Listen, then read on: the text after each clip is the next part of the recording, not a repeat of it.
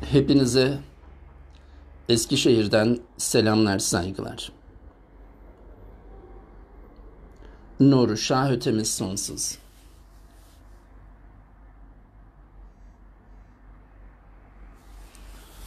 Bugün canlı yayında sizlerin şifasına vesile olacağım. Şu anda buraya yorum kısmına kendiniz hakkında yazarsanız maalesef onları okuyamayacağım.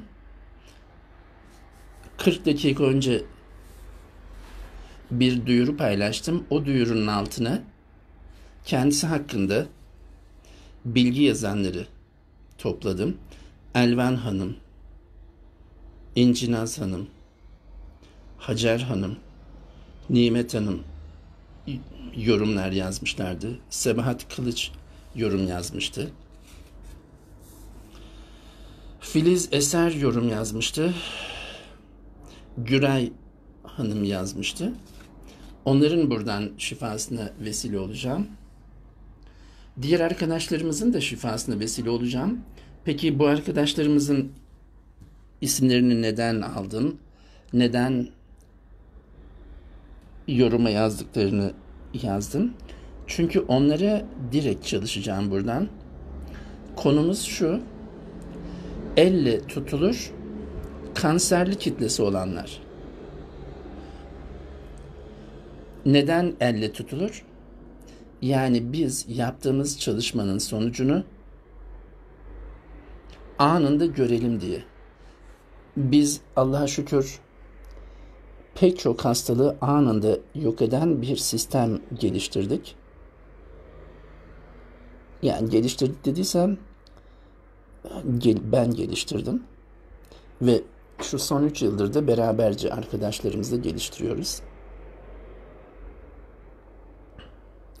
Sizlerin şifasına vesile olacağım. Ben orada kanserli kitlesi elle tutulanlar yazdım. Bazı arkadaşlarımız elle tutulamayacak olanları yazmışlar. Mesela akciğerde, daha doğrusu ciğerlerde ya da pankreasta olan kanserin geçtiğini ancak sizlerin doktorunuza gittiğinizde onların yapacağı tetkiklerle, incelemeyle anlayabilirsiniz.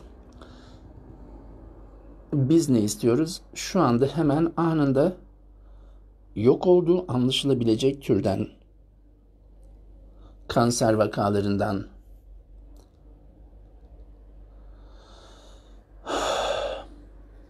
haberdar olmak ve onları yok etmek istiyoruz. Eğer şu anda yorum kısmına ben de şu dömer bu dömer diye yazıyorsanız valla gözüm kapalı. Ekrana yüzüm bakıyor ama gözlerim kapalı çünkü odaklanıyorum. Yani dolayısıyla şu anda bir şey yazmanız ifade etmiyor.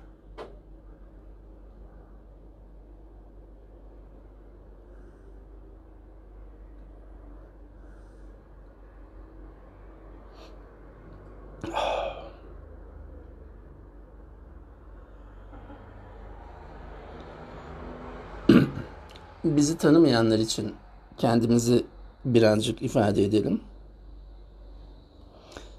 Ben Refik Korkmaz eğitimlerini veriyorum.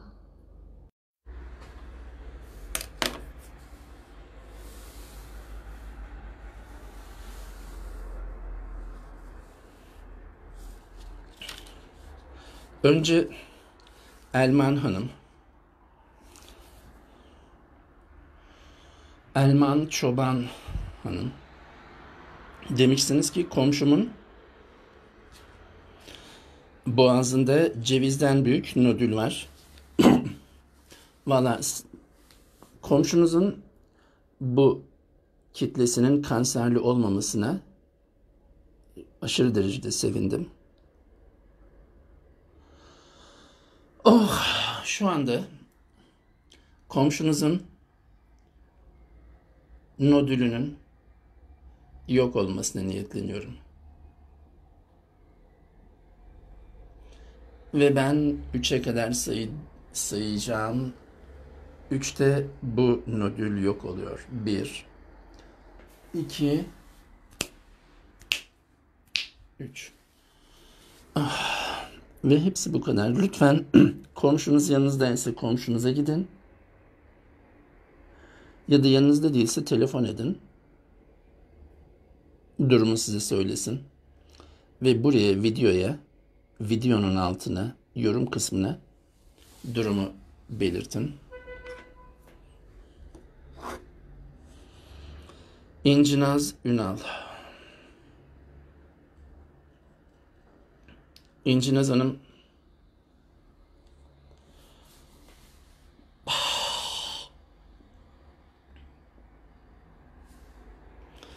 CA değerinin düşmesi ve hatta tamamen yok olması için çalışıyorum.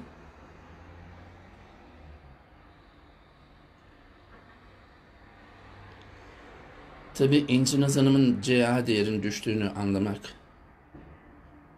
şu anda mümkün olmayacak ancak doktor kontrolünde bunu anlayacaktır.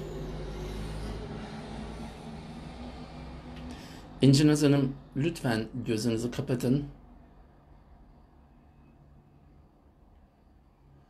ve 12'ye kadar sayın.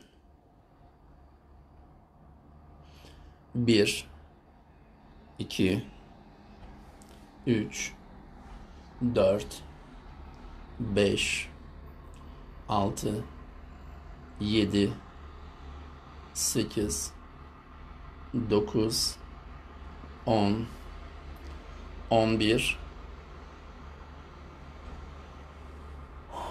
12 çok güzel bir enerji aktı. 13 bir fazlasıyla işlemin tamamlanma ihtiyacı vardı. Şifa olsun. Amin. Hacer Soysal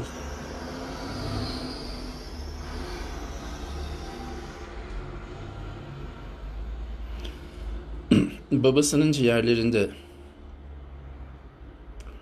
bu tarz bir kitlenin olduğu söyleniyor. Hacer Hanım, babanızın şifasına şimdi vesileyim.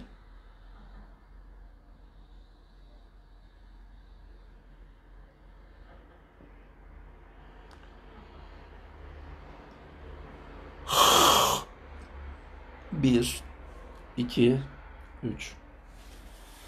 İnşallah babanızın şifasına vesile olduk. İşte elle tutulsun, elle tutulan olsun dememdeki amaç bu. Hani bunun da yok olduğunu şu an göremeyeceğiz.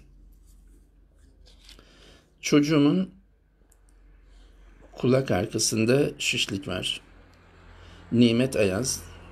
Ne güzel. Güzel tarafı kanser olmayışı, zararsız bir şişliğin olması. Nimet Hanım, oğlunuzun ve çocuğunuzun kulak arkasındaki şişliğinin yok olmasını vesileyin.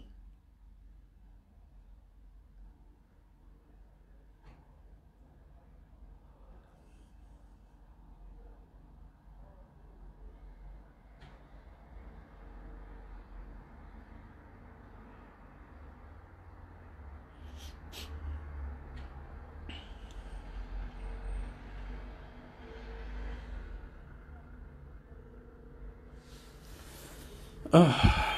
Ve lütfen Nimet Hanım şimdi çocuğunuzun kulak arkasındaki şişliğe bir bakın.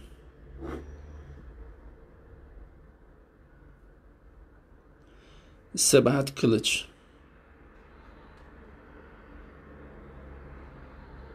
Tiroid var. Sebahat Hanım için çalışma yapıyorum.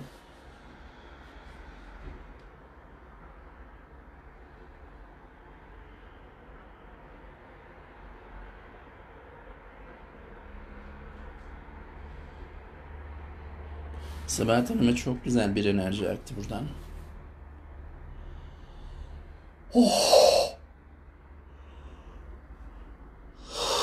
Ah. Allah'a şükür. Sebahat Hanım lütfen test edin kendinizi. Bir bakın. Filiz Eser. Yengesinin pankreas kanseri var. E, tamam hani biz elle tutulur gözle görülürse yazın demiştik. Tabii insanlarımız, arkadaşlarımız, çevremiz hastalıktan muzdarip olunca biraz da e, tabii bundan kurtulmak için artık türü ne olursa olsun yazıyorlar. O yüzden bunu geri çeviremeyiz tabii ki. Hani elle tutulur kitle olması şartını burada korumayacağız. Yani şifaya vesile olacağız. Şifayı veren Allah. Biz elimizden geldiği kadar temiz kalbimiz ve bilgimiz ölçüsünce canlıların ve cansızların şifasına vesileyiz. Filiz Eser yengenizin yengenizin pankreas kanserinin yok olmasını çalışıyorum.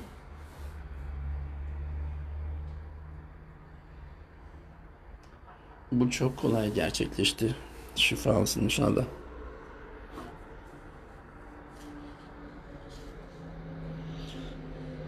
Güray Aslan belinde beze var.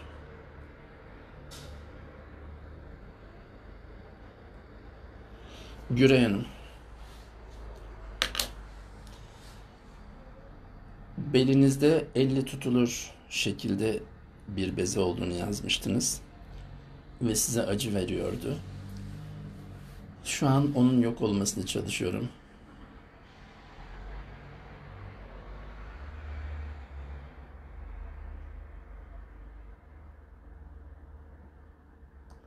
Ve dökülüyor, yok oluyor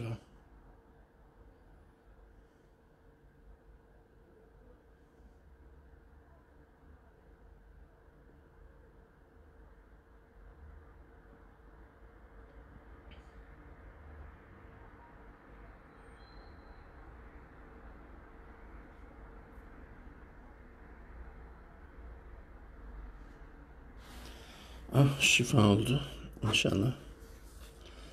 Arkadaşlar biz eğitim veriyoruz. Refik Korkmaz eğitimleri.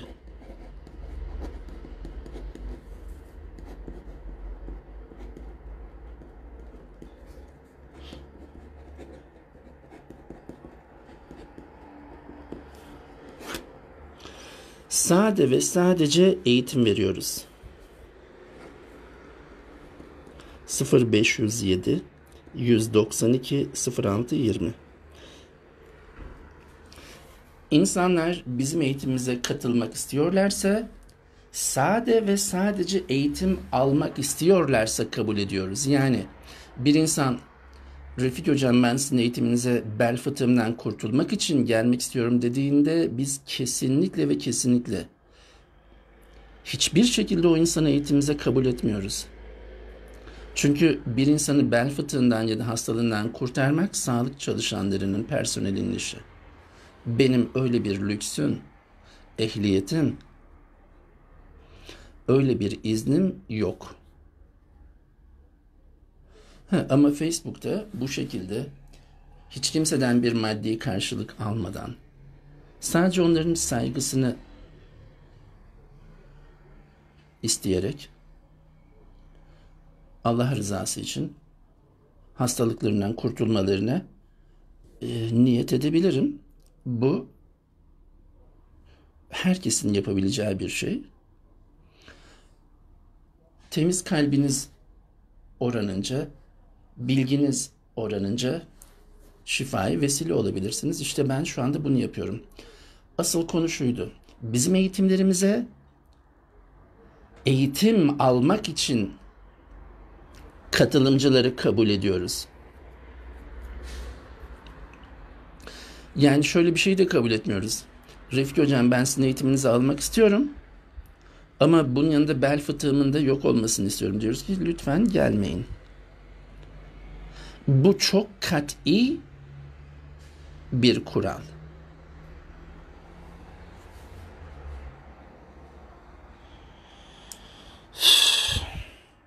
Peki bir saat önce duyuruya elle tutulur kanserli kitlesi olanlar yorum kısmına kendileri hakkında bilgi yazsın canlı yayında yok edeyim yok etmeye çalışayım diye yazdım. Ve onun yorum kısmına konuyla alakalı bilgi yazanlara şimdi canlı yayında onların isimlerini söyleyerek şifalarına vesile oldum.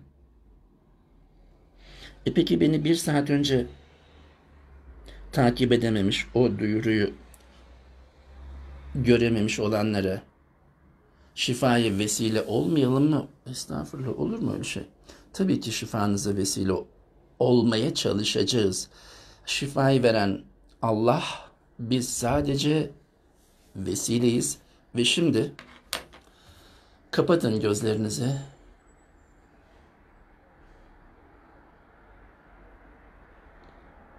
İşte benim şuramda şu kitle var, buramda bu hastalık var, belimin L4'ünde, T şuyunda, C altısında deme hiç fıtık var demenize hiç gerek yok. Hastalığınızın, sıkıntınızın türünü hiç söylemenize gerek yok. Onun, onların, çünkü birden fazla olabilir. Yok olmasına şimdi vesileyim ben. Gözleriniz kapalı ve benimle beraber saymanızı istiyorum. Elinizde bir tesbih düşünün. 33 taştan oluşan bir tesbih ve bu tesbihin imamesi var ve bu tesbihin püskülü var. Bu tesbihe iyi davranın çünkü bu tesbih sizsiniz. Sizler nasıl olur da bir tesbih olursunuz ya da ben Refik Korkmaz olarak bir tesbih miyim? Evet. Tesbihin 33 taşı var. Benim de 33 omurum var. Tesbihin imamesi var, benim de kafam var. Tesbihin püskülü var, benim de saçım var. Tesbihin püskülünü insanlar tutar, bizim saçımızdan da yüce yaradan Allah tutar. Ve bağımız oradan başlar. Şimdi tesbihin taşlarını tek tek sayacağız. İlk saydığım taş kuyruk sokumu, son saydığım taş 33. omurumuz olacak. İmame ise kafamız olacak. Bu taşların hepsini tek tek saydığımızda parlatmış olacağız ve kendi enerjimizi yükseltip şifamıza vesile olacağız. Tabii daha geniş düşünebilen dimalar, daha geniş düşünebilen muhayyileler evrenin ve hatta kuantum evreninin şifasına vesile olurlar. Evrenin ya da kuantum evrenin şifasına vesile olmanız için sizi çok fazla farkındalığına vardırmayacağım. Sadece bu kadar söylemekle yetineceğim.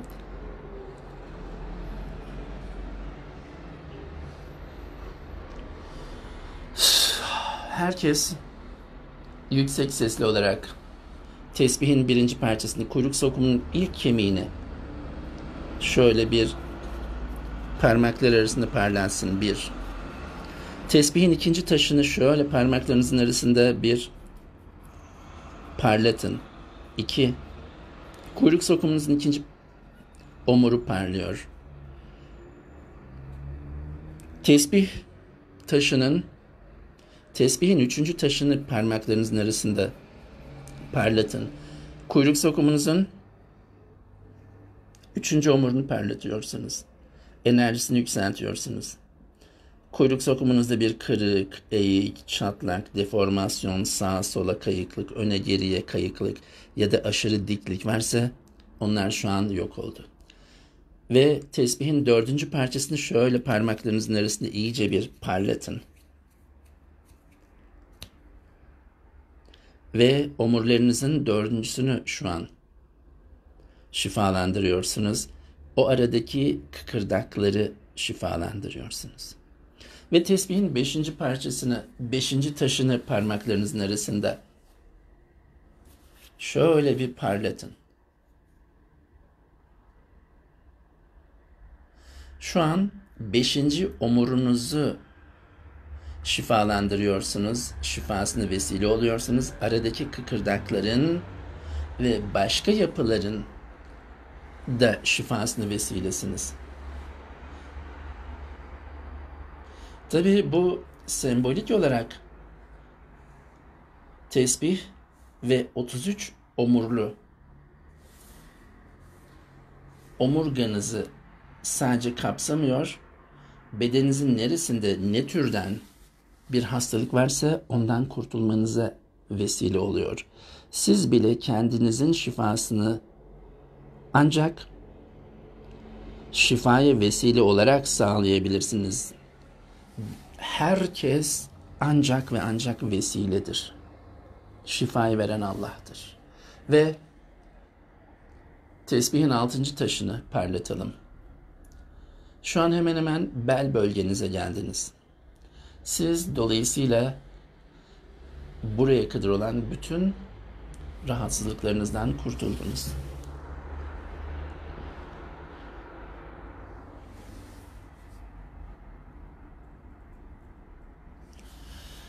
Tesbihin yedinci taşını parlatın. Sekizinci taşını parlatın. Tesbihin dokuzuncu taşını parmaklarınızın arasında parlatın.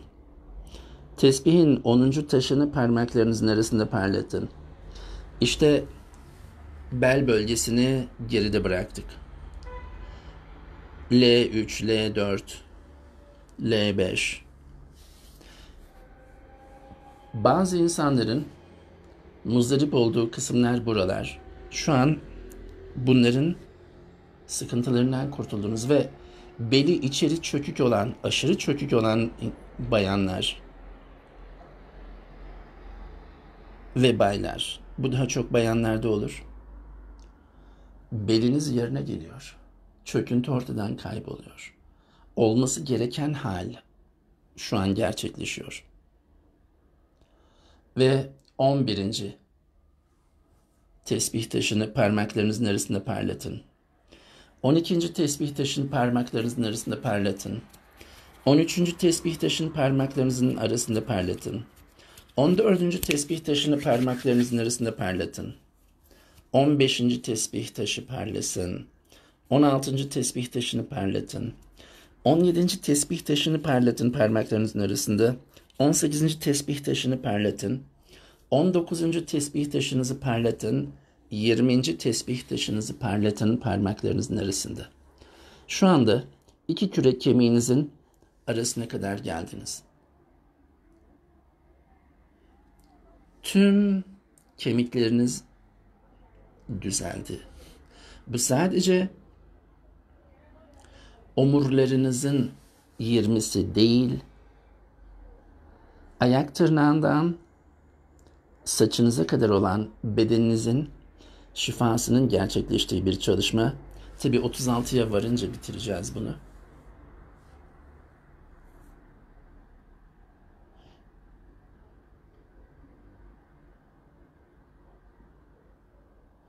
Ve bu arada ne kadar kıkırdağınız zedelendiyse, kemikleriniz ne durumdaysa onlar şifalanıyor.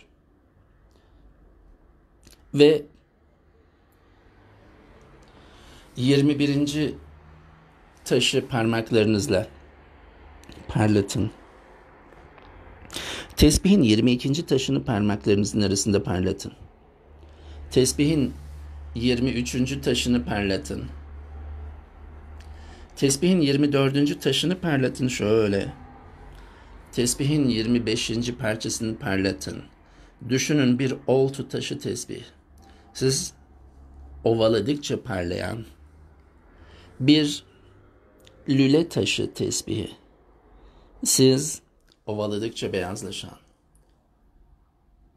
Düşünün bir kehribar tesbih.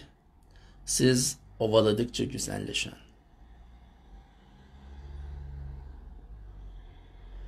Düşünün bir mucize tesbih.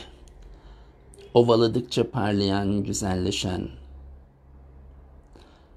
Düşünün bir nuru hayat ötesi tesbih. Her taşı siz parmaklarınızın arasında ovaladıkça parlayan. Düşünün bir nuru şah ötesi tesbih. Siz ovaladıkça beyninizin yüzde 89'unu kullandığınız bir tesbih. Ve 26. taşın da parmaklarınızın arasında parlatalım. 27. taşı da parmaklarımızın arasında parlatalım. İşte tamamen omuz hizasına geldik. 27 taş. Oh, burası C7'ye denk gelen ve biliyorum ki hemen hemen 10 kişiden birinde orada küçük bir tümseye, küçük bir hörgüçe sebep olan kemiğin bulunduğu yer. Bazılarında çok çıkıntı şeklindedir. Bazılarında etrafında yağ bezeleri ya da sert bir kas doku oluşmuştur. Bazılarında mandalina büyüklüğünde bir hörgüçe bile dönüşmüştür bu. Hem o yağ bezelerinin hem de sertleşen kas dokunun hem de dışarıya çıkıntı veren o C7'nin yerine oturmasını, oranın güzel, şifalı, sağlıklı hale gelmesini şimdi istiyorum ve buna niyetleniyorum ve buna vesile oluyorum. 27 ve şimdi 28. taş. Tesbihin 28. taşını parmaklarınızın arasında parlatın. Tesbihin 29. taşını parlatın. Boynunuzdasınız. 30. taşını parlatın tesbihin. Oh. Boyun düzleşmeleriniz yok oluyor. Boyun fıtıklarınız yok oluyor. 30. taş. Ve parlasın şimdi 31. taş. 32. taşı da parlatın. Tesbihin son taşı. 33. taşı da parlatın. Oh. Şu an hepinize bu enerjinin geldiğini adımın Refik Korkmaz olduğundan emin olduğum kadar eminim. Görüyorum enerjiyi. Ve şimdi imameyi parlatın, imameyi. İmame biraz uzundur, biraz büyüktür. İyice parlatın, iki avucunuzun arasında alın parlatın bunu.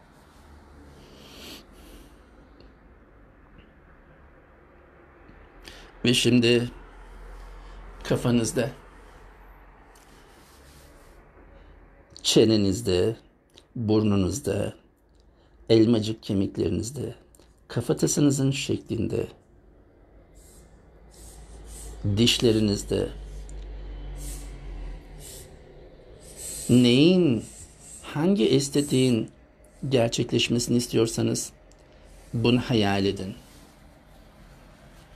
34. taşı imameyi şöyle avuçlarınızın içinde iyice bir ovalayın. Çene çıkıklarınız, çenenizin eklem yerinin kırt kırt etmesi bunlar artık tarih oldu. Haydi bakalım. 35. taşa gelelim. 35. taş yok. 35. parçası var. O artık bir taş değil. O artık bir püskül. Tesbihin püskülü erkeklerde kısa saç, bayanlarda ise daha da uzun halde saç olarak karşımızda. Tesbih anlatabildim mi? Tesbih bir misali insandır.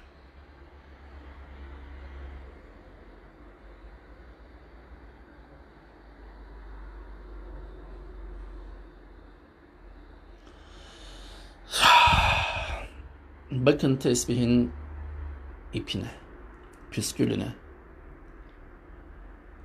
Alın, avuçlarınızın arasına hissedin. Avuçlarınızın arasına aldığınız bu püskülü kulak, sağ kulağınıza götürün bakın. Sonra sol kulağınızın hemen dibine götürün. İşitin püskülünüzden gelen sesleri.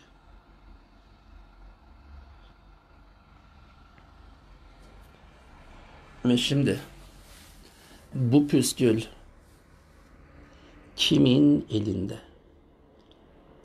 Bizlerin saçı hangi alemde? Bizler bedenimizin görünmeyen kısmından başlayarak en ince yerimizle, saçlarımızla Allah'ın yaradanımızın parmaklarındayız. İşte düşünün, hayal edin şimdi yaradanımızın enerjisi parmaklarından saçlarımıza ve ayaklarımıza kadar akıyor, toprağa geçiyor. Kimin bir hastalığı kalabilir ki artık?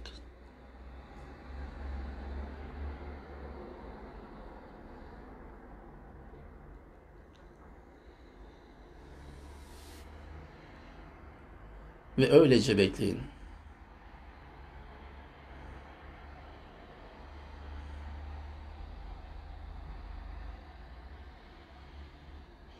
Dedim ya size, tesbih bir misali insandır diye.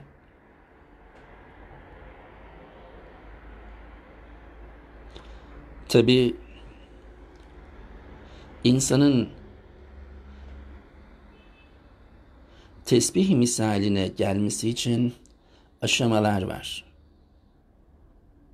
İnsanların pek çoğu sopa gibi, baston gibi, kalas gibi, odun gibi, dimdik. İşte hastalıklar odunluktan, kalaslıktan, değneklikten, sopalıktan gelir. Ne zaman ki bu kalası, odunu, sopayı, değneği bir yay gibi yarı çember haline getirirseniz tesbih olma yolunda yarı yarıya yol alırsınız. Hastalıklarınızı yarı yarıya yok edersiniz. 33 omurunuzu bir yay haline getirdiğinizde ok atmaya yarayan bir yay. Hala gözleriniz kapalı. Hem şifanız gerçekleşiyor hem de bugüne kadar hiç duymadığınız, hiçbir yerde yazmayan, hiç kimsenin bilmediği bir bilim öğreniyorsunuz. Bunu çevrenizdeki herkese uygulayabilir, öğretebilirsiniz ve cebimizde, elimizde, boynumuzda taşıdığımız tesbihin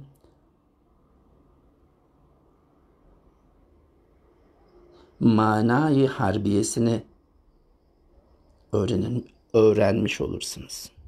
Hala gözleriniz kapalı.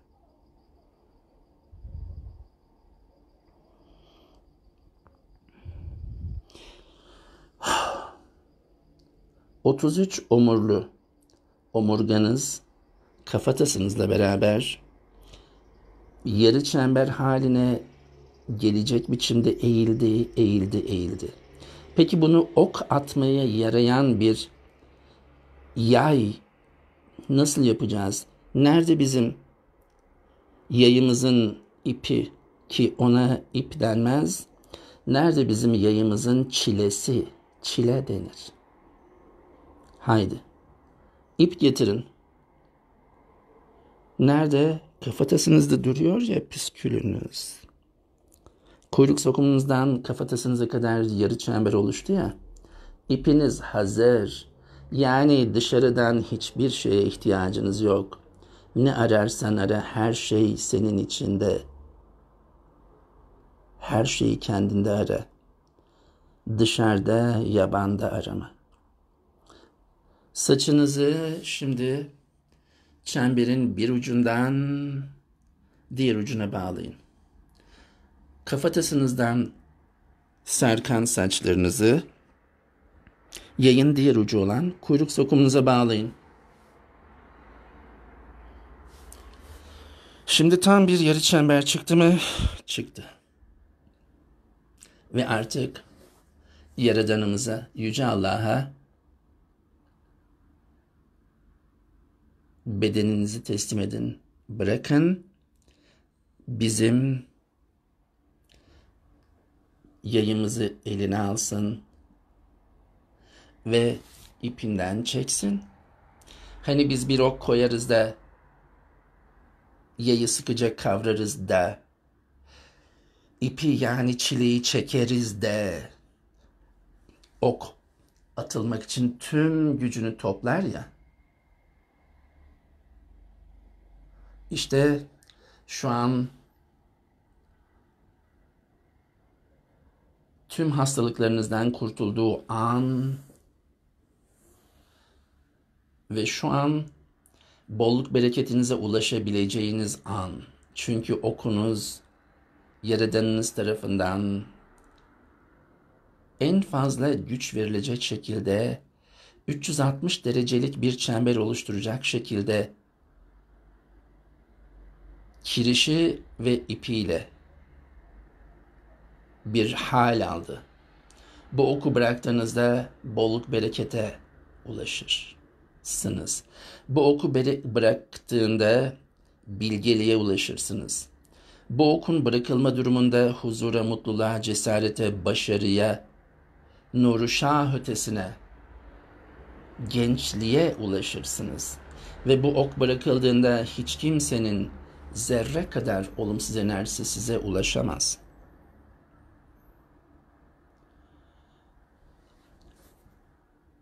Yayımızın kirişi ve çilesi yani ipiyle beraber ipi çekildiğinde yarı çember artık tam bir çember halini aldı mı iple beraber aldı. Peki ne vardı bu yayda? 33 omurumuz, saçımız ve Allah'ın eline verdiğimiz, teslim ettiğimiz bedenimiz. Tesbih böyle değil mi? 33 taş 360 derecelik çembere dönüştürülmüş imamesi ve saçı yani püskülü olan enerji yükseltme aracı değil mi? Evet. Tesbihi elinizde neden tutuyormuşsunuz? Hastalıklarınızdan kurtulmak için. Bunu kaçınız biliyordu? Artık biliyorsunuz. Hepinize şifa olsun. Şifa oldu, oldu, oldu, oldu, oldu, oldu, oldu. Siz sadece bunu kendinize değil, bütün insanlara da yapabileceksiniz. Yapabiliyorsunuz. Artık ben bu bilgiyi size helali hoş olarak hediye ediyorum. Alın bunu kullanın. Kendi şifanız için uygulayın. Ailenizin şifası için uygulayın. Dünyamızın bütün insanlarını kardeş olarak görerek onların şifasını uygulayın. Dünyamızın bütün hayvanlarının şifasını uygulayın. Dünyamızın bütün bitkilerinin şifasını uygulayın ve çevrenizdeki her taşın, toprağın, bulutun, rüzgarın, bir plastik parçasının, bir meyve kabuğunun, canlı cansız etrafımızda gör, ne görürsek hepsinin şifasına vesile kılalım. Size yine şaşacağınız bir şey söyleyeyim. Vallahi de çevrenizdeki cansız varlıklar da onlara biz eziyet ettiğimizde bizden şikayetçiler. Ben eğitimlerimde mesela eğitim amaçlı şöyle bir plastik kabloyu parmaklarımın arasında şöyle sıkıştırıyorum ya da büküyorum. Sonra gözünü kapatan arkadaşımın önüne koyuyorum masaya ya da onun eline veriyorum. Diyorum ki lütfen psikolojisine bak. Önce hiç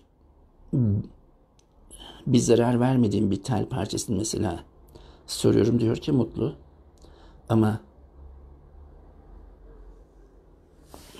elimde böyle sıkıştırdığım, büktüğüm bir tel parçasını verdiğimde ise üzgün ve ağladığını söylüyor. Ve hatta beddua ettiğini söyledi. Yani bir gazoz kapağını bile siz ayağınızla ezerseniz beddua ediyor. Ve hala Anadolu yörüklerimizin ve dünyanın başka yerindeki bilge insanların yaptığına uyalım. Onlar bir ağacı kesmeden önce seni şu şu şu zorunluluktan dolayı kesiyorum. Ya da seni şundan dolayı koparıyorum ey çiçek. İzin veriyor musun? Diyerek iş yapıyorlar. Lütfen sakın ha şu yanlış anlaşılmasın bu örneğin. Ağaç kesmek keşke hiç bunu kullanmasaydım başka bir örnek verseydim. Ama yörüklerimizde bu kafamıza kazındı. Belgesellerde bunu daha çok gördük. Siz bir gazoz kapağını bile gazoz kapağı ya deyip de onu basitleştirmeyelim aynı zamanda. Bir gazoz kapağına bastığınızda bile üzülüyor, ağlıyor ve beddua ediyor. Artık ne yapacağınızı biliyorsunuz. Ondan özür dilemek gerekir. Gözlerinizi açabilirsiniz. Hepinize selamlar, saygılar. Nuru Şah ötemiz sonsuz.